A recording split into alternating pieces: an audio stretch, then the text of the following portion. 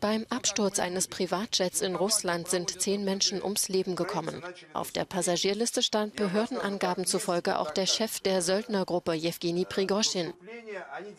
Nach Angaben der russischen Agentur für Luftverkehr ereignete sich der Absturz der Embraer-Maschine in der Region Twer, die sich rund 180 Kilometer nordwestlich von Moskau befindet. Prigoschin war zuletzt durch einen Putschversuch gegen die russische Militärführung am 23. Juni in die Schlagzeilen geraten.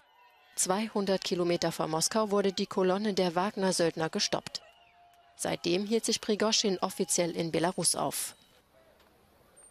Unlängst kursierte ein Video vom Wagner-Chef im Internet, die ihn auf einer Reise in Afrika zeigen sollte.